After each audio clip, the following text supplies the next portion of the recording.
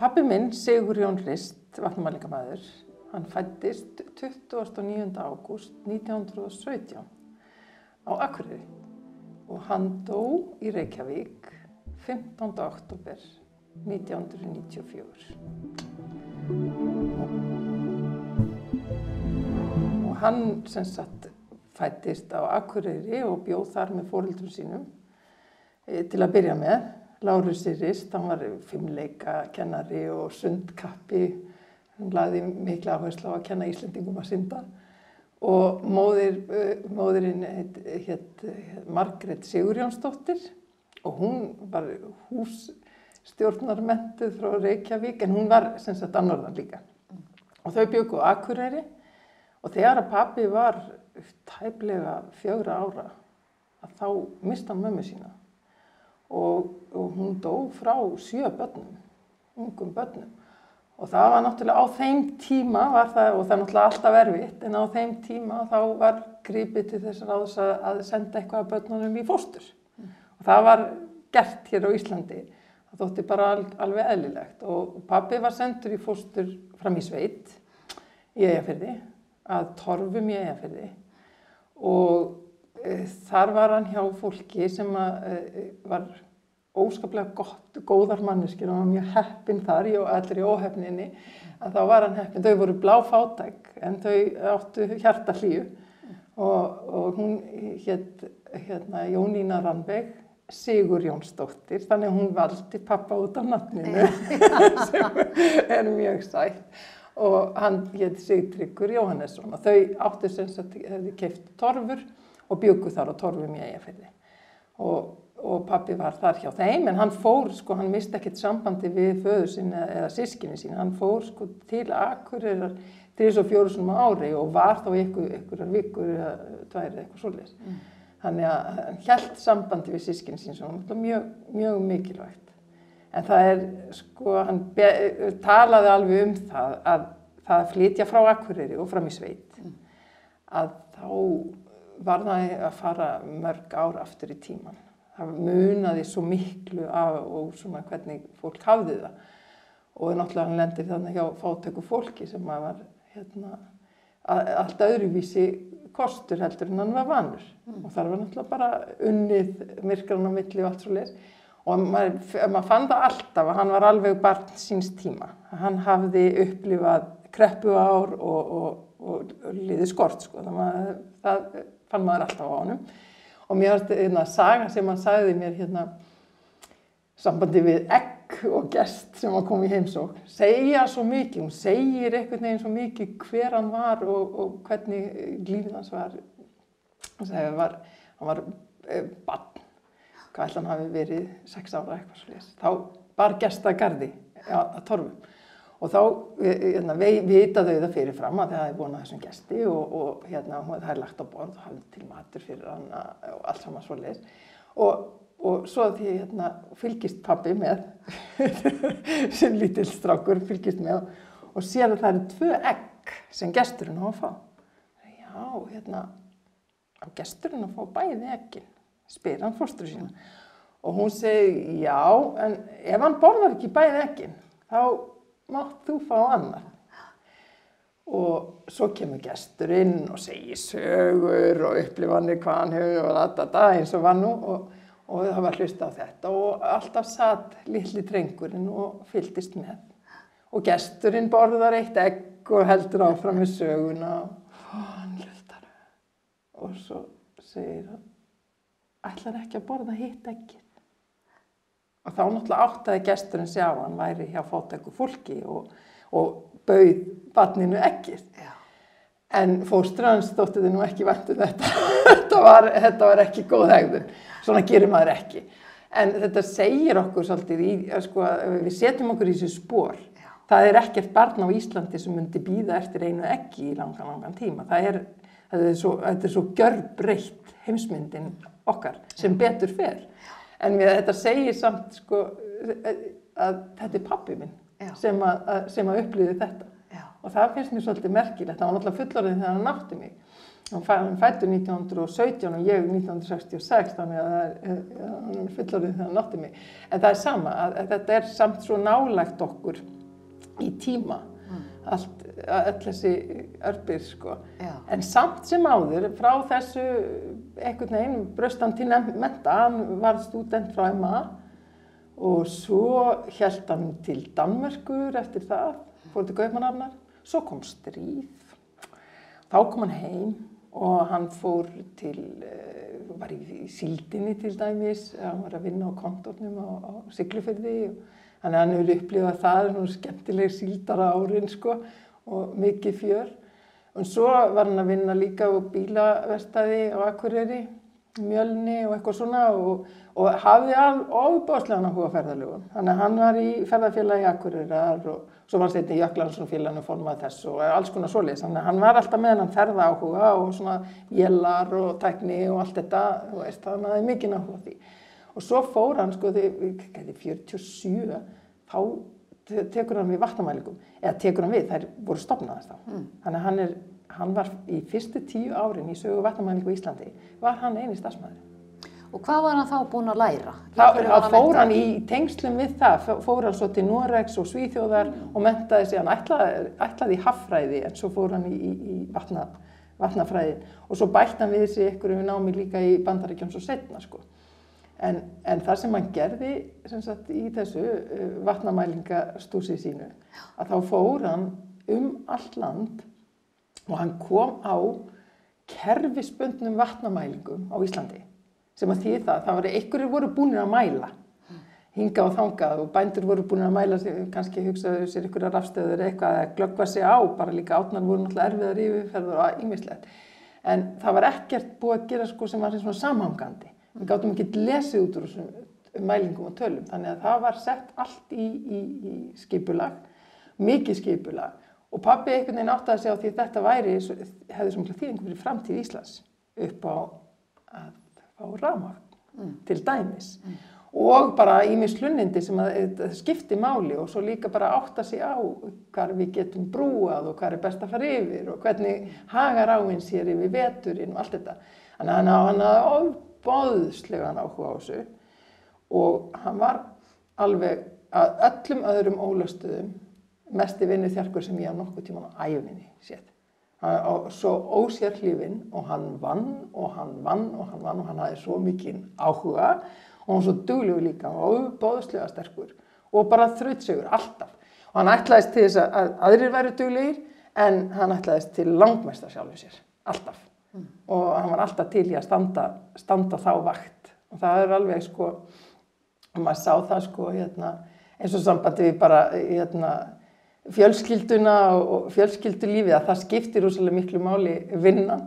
Og mamma mín, uh, Marja Sigurðardóttir, hún var fyrsti viðskiptafræðingur á Íslandi, gaf hún að skjóta því að, en hérna, hún var fljóta átt að segja því að það var ekki hægt að fara fyrir okkur fjölskylduna, við fórum ekki frí á Íslandi af því hann fór ekki í frí á Íslandi. Það var alltaf sko komin að, já, aðeins að kíkja þessa á, aðeins að kíkja þennan mæli og aðeins þetta. Þannig að við fórum í vatnamælingaferðir með honum Já. og það var mikil upplifun og það var sko á þeim tíma var engin á ferðalagi, svo, eh, nánast engin á ferðalagi á Íslandi. Það var engin upp á hálendi. Ég meina ég var með í að, að, stika sprengisand og það er alltaf merkilegt sko að það er svo stutt síðan að það var sko hálendisferðir voru ekkert. Þetta við, vorum alltaf ekki með, með þessa bíla sem við erum með í dag og eitthvað svona. En við fórum e, fjölskyldan oft með og þá var svo eðlilegt og það lág honum svo eðlilega að þá unnu allir. Þannig að þegar ég var pínu lítið þá var ég berandi einhver þungmælitæki upp um fjöll og fyrnindi og, og þú veist, við fórum eins og því ég var nýjára þegar við fórum í Ófeksfjörð til dæmis. Og þá er sko, þá er silt að, það er þetta sigla þegar var ekki hægt að keira það var silt frá hérna Gjögri og silt inn í Ófeksfjörð og þá áttum við eftir að labba með allar vistir, allan búin og allt saman upp á heiði og vera þar í marga daga. Og þetta já, já, og þetta er náttúrulega svakalig þingsli sko. og þetta var bara, þetta var alveg eðlilegt. Hann fór einn á skýðum uh, hérna, alla vestfyrði til þess að mæla. En hann var óbúslega skipulega, hann skipulaði ferðina sínar og það er mikilvægast að þú ferði í svona ferð. Er það eitthvað vonaðir? Og hann viti, viðkomandi viti hvenar þú ætlar að koma niður af fjöllunum eða að það eigi ykkur vonaði, það þurfti aldrei að leita á hann. Það er alveg opbáslega merkilt eins að það var ekki sko, búnaður með allar aðnar og erfiðari og sliðis. En honum fannst þetta alveg ofsalega gaman og held þessu striki alveg hreint áfram og við sko við, við áttum að fara í frí þá var það til útlanda. En þá sko hann líka átnar Sko hann var, já, já, eins og í hvaða landi? eins og Ítali var það sjá sko. en það er bara eh, hluti að því að, að hafa svona ofbáslegan áhuga á vinnunni er mikil gæfa. Það getur líka verið svolítið erfitt að ég meina hann náttúrulega vann og vann og vann og vann og veist og það fór kannski ekkert vel með sig. En það sem að mér þykir vænt um svona með að því að ef við svona áttum okkur á því að hann er fættur 1917 hvar eru Íslendingar stattir eins og í tilfinningalega? Hvernig tala þeir um tilfinningar? Hverjir, hverjir voru, hver vorum við þá? Og það er mér þykir svo vænt um að hugsa til þess að hann var sko e, ótvírætt sem hann sagði, manni, e, sagði mér frá hvað hann þætti vænt um mig til dæmis og það væri engum sem að þætti vætna um hann heldur en foreldrunum og, og þú veist þegar maður er barn og, og þetta, þetta er svo fallegt þetta er svo, uh, og það er svo gott hann gætt nálgast þetta.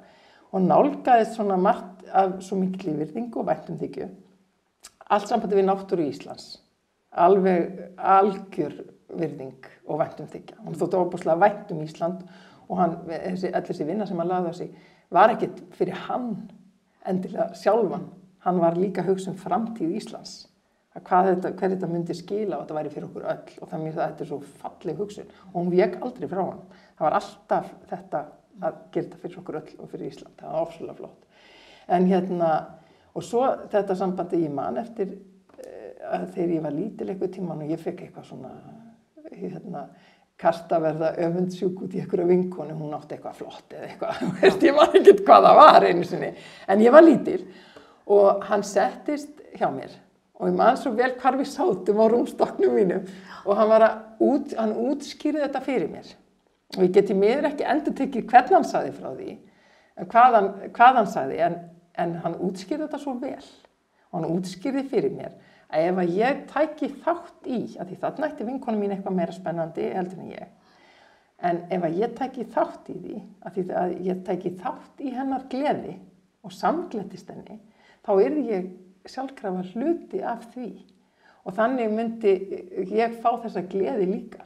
Og þetta er, þetta er bara grunnur að kærleika og nánga kærleika og öllu því. Og þetta, hann útskýr þetta svo vel að þetta er alveg, þetta er svo oft komið upp í huga, já, einmitt.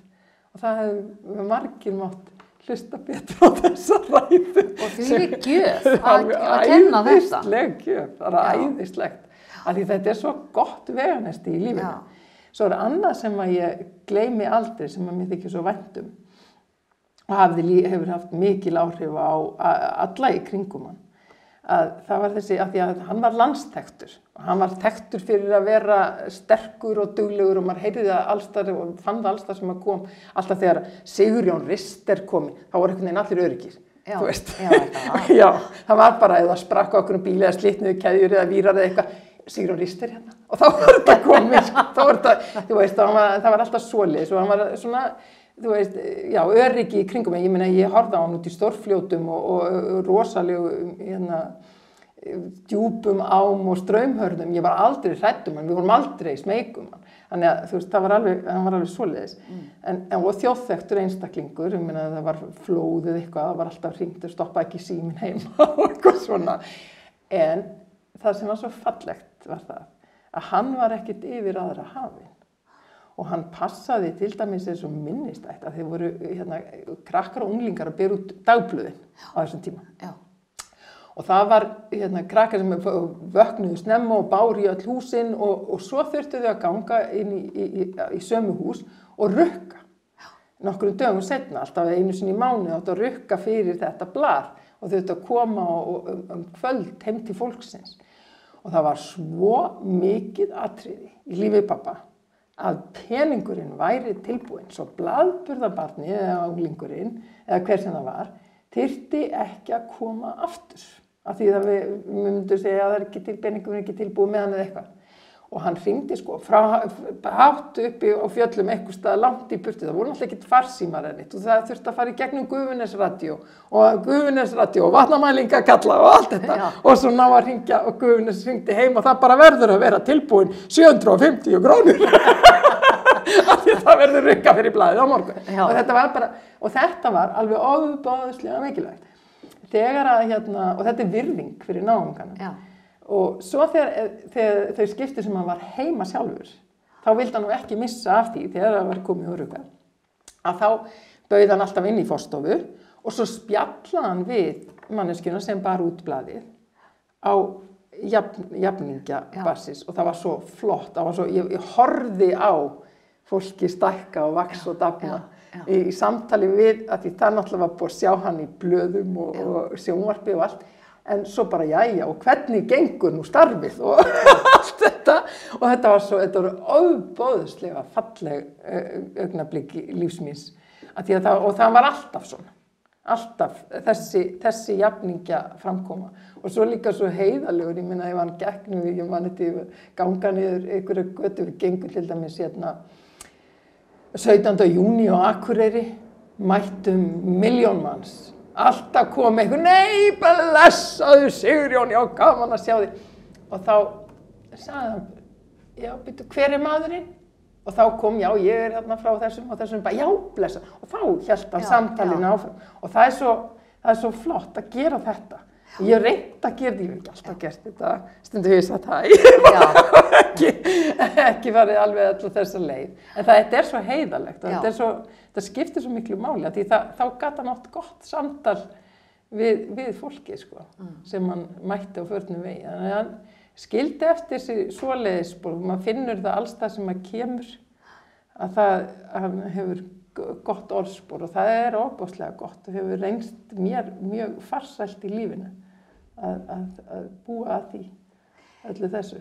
En þegar hann var, sko, að ímynd mín því ég hugsa um Sigurjón Rist, vatnamælingamann sem að ég man að allir bóru virðingu fyrir, Já. að þá hugsa maður strax, sko, út í belljandi fljóti stóð hann Já. með hérna mælistöng veist, og þetta eru oft örgla verið mjög hættulegt. Já. Voru, voru þið aldrei hrættum? Aldrei. Nei. Það kvarlaði ekki gert af manni, sko, ekki neitt. Og hann náttúrulega ekki var srættur, alin upp af Já, sundkennara. já, nákvæmlega. En, en hver var vinnu, hver var vinnu búnaðurna, sko, veist, fötin þegar hann fór í vinnuna út, á, landi? Já, þá var náttúrulega bara í, í ull og hérna, uh, og, og svo náttúrulega vöðlur, bússur og vöðlur og svo leiðis og alls konar svona stakkar sem að að, en sko berhendur, alltaf berhendur með húu en berhendur. Oft með húu á, en ekkert alltaf, en, en, en alltaf berhendur og það er þannig að hendurnar þar aðlaga sig kuldanum. Og hann gæti verið berhendur út í áfsalegum kulda og haldið á ísjökum og allt svo leiðis. En, en átti hins vegar erfitt með það því að vinur hans einhver tíman var að tala um þetta, sá, sá var sko, vann með hérna, hvað heitir það, hérna, heitt, já, já, og, og hérna, og sá var vannur að hamra játnið heitt, sko, en hann, þú getur ekki verið berhendur í þessu og allt sem hann svo leiðis, en svo þegar hann pappi kom í smiðjuna hjá vinni sínum, þá gæti hann alls ekki haldið á því sem að hinn held á þessu heita, sko, þannig að það, það er aðlugun algjörlega, sko, Hendurnar aðalega já, að gera það. En, en hvað, hérna, hvað vann hann lengi í svona erfiðu starfi? Hvað gæti hann unnið? Hann vann lengi, hann var alveg sko, var nú því miður veiktist hann uh, þegar hann var uh, 60 og 30 ára eitthvað svo leiðis og þá svona dróða hann eins úr því en hann fór áfram í einhverjar ferðir eftir það. Og það sem er svolítið merkilegt við þetta sko, hann, hann, og þá var hann, ég meina yfir 60 er hann að þvælast um allt land upp um fjöll og fyrnindi en þá. Og kannski hefur það verið of mikið fyrir hann að því hann var svo mikill vinnuþjarkur og svo ósérhlífin sko. Að hann e, fekk sem sagt, hérna, hann lamaðist vinstramegin þá heldur maður áfram að geta talað en, en sem sagt hann var alveg lamaður vinstramegin og það var e, alveg ömurlegt fyrir hann. Algjörlega ömurlegt fyrir þennan dugnaðarþjark að geta ekki hrift sig og vera háður öðrum og bara þurfi. En það sem hann gerði, að það var það að hann vildi endurhæfingu og hann fór, fór í mikla endurhæfingu og hann var ofbóðslega duglegur og harður bara eins og hann var. Já, Það sem að kom út úr því og það sem að var sko þegar hann veikist og svona fólk er að spyrja já og hvernig líður þér? Þá sagði hann mér líður djöfulega. já, Og á þeim tíma þá bara talaði fólk ekki svona. Og þetta var alveg svona, bara, "Bíddu, ha? Já, það er bara alveg satt. Mér líður djöfulega. Og þetta er svo heiðarlegt. Já. Aftur þessi alveg sanni heiðarlegi. Auðvitað er erfitt að heyra það. En það er, hann er í ennþá erfiðari sporum. Uh, maður getur ekki endilega að fundið til með þeim sem heyrir þetta. Maður kannski bara, hva, hvað er um að vera? sá sem upplifir þetta. Já, akkurat. En, en það sem hann gerði var það að hann var uh, harður við sjálfa sig og, og, hérna, og tók mikla endurhæfingu og náði gífurlegum árangri. Og það sem við sjáum hérna, eða það sem ég upplýði sko, að það voru margir sem voru jafnaldra mínir sem að fóru svo í, í læknisfræði. Og þau sögðu mér það að pappi var tekinn sem dæmi í læknisfræðinni vegna þess að það var ekki talið að fólk yfir 60 gæti náð sér svona vel af heilablóðfalli. Að, að þá var ekki splæst í endurhæfingu á þennan hátt en hann ætlaði, hann bara skildi standa upp og geta verið sjálfstæðir. Þannig að, að og það var bara, þá var bara ákveðið e, út frá því að já, heyrðu, það er von. Og við horfum allt öðrum augum á þetta í dag. Já, okkur þætti alveg sjálfsagt að maður sem er rétt yfir 60 að hann bara fari í endurhæfingu og nái sér. Já, en, en þannig að hann var brautirhjandi þar líka. Skilur eftir sig eh, skemmtilega hluti í rauninni eftir varðandi bæði hérna, vassorkun og rafmagnið og allt það og svo virðingunni gagvart Íslandi og, og svo þetta að, að ekki gefast upp, þetta gengur áfram sko, það er hægt að þjálfa sig. Og það sem er sko, hann hafði svo mikinn áhuga á öllu tækni og, og öllu svo leiðis líka að fylgjast með öllu saman þó hann væri orðin fullorðinn, hann, hann var sem sagt veitti hérna, vatnamælingu fórstöðu alveg til 1987, þá var hann orðin 70 þannig að þá hættir hann bara vegna aldurs. Og hann var búin að vera í 40 ár í, í vatnamælingum sem er mjög skemmtilegt sko. og hérna en, en þá er hann sko ef við, ef við horfum, ef við tökum sko lítum yfir lífið hans já, hann sem sagt, er alin upp í torf, Torfbæ við þröngan kost og svo þegar að, að, hans fullanis líf og þegar hann fellur frá þá býr hann í stóru húsi með fjórhjóladrifin bíl og, og tölvu. Og, og hann var, einn af þeim fyrst að kaupa tölvu á Íslandi sko, hann var óbúðslega áhuga á því. Og allt þetta sambandi við tölur, við skulum vanda okkur og það vanda sig. Mjög mikilvægt atrið og vísindamæðurinn vanda sig við að skrifa tölur. Alltaf af því það getur miskilist ef að þú vandar þig ekki nógu mikið og þetta var svona það sem hann laði mikla áherslu á í, í lífinu. Hvaða á er í uppahaldi hjá þér svona eftir, eftir að hafa ferðast með honum um landið? þær eru margar, þær eru margar þær eru svo ólíkar. Þær eru svo ólíkar. Að þær eru svona, þær hafa svo misjöfn áhrif á mann. Já, Já, mér finnst kolgríma alltaf svakaleg sko, þegar að sjá kolgrími í flóði er svakalegt, hún er svona aggressívust, en, eh, en það eru svo margar sem eru svo flottar og, og svo virðulegar sko. Þjórsá er náttúrulega algjör, algjörlega sérstök, en ég minna, en þær eru það allar. En hvaða áhrif hefur hann haft á þig svona varðandi starfsferil og valvitt um leiðir í lífinu? Ná, algjörlega þetta að vera úti og Ísland og það er sko, ég, ég starfa sem leðsugumæður á Hestbakki og, og með, með reyðskóla þannig ég er úti með hérna hestinum og, og stundum notum við hesta í vatnumælingaferðum, það voru bestu ferðir. En hérna en það er þessi útivera og, og svo í, náttúra Íslands. Og það er, það er svo óendanlega fallegt sko. og það er svo stert og það er svo magna og það er líka þessi hérna, fjölbreytni í, í landslægi það, og það gerir manni svo gott. Og það er líka þessi útivera líka yfir veturinn að það er svo spennandi. Og þá, þá er ég á hestbakki í hanskalaus í snjónum. Já, það gengur í ættir. það er stundum svona. Þannig að, að það er þessi ást á Íslandi og virðing fyrir náttúrunni, það er algjörlega það sem að, að, mér er í blóðu borið. Mikið hefur verið lánsöð með pappa. Já, alveg ofsalega. Eitthvað sem vilt segja að lókum? Bara það að þetta að það sé þetta er doldið gott fyrir okkur að hugsa um svona í, í nútímanum því hraðin er svo mikill og við ætlumst til svo mikils og finnst við meiga hitt og ditta og allt saman.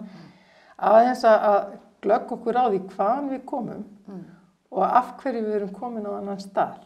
Hva, hvað er, hva, hver, hvernig var brautin lögð fyrir okkur? Hver lagði grunn að hínu og þessu? Þetta er ekkert allt saman alveg sjálfsagt. Og það er svona það er bara fínt að hugsa til þess að, að með þakklæti þegar við ítum á hérna ég ætla að hans að kveikja ljós Hvaðan kemur rafmagni? þetta kemur allt einhver staðar frá Já. og þessi botlausa vinna og þessi óeigingildni og það er, hún er dýrmætt hún má ekki alveg gleymast sko í, í, í nútímanum og þessi virðing fyrir öllu og öllum það sko maður hafa leiðaljósi Bergljóð Rist, takk fyrir að koma og deila með okkur minningu þínum um pappaðinn Sigurjón Rist. Takk.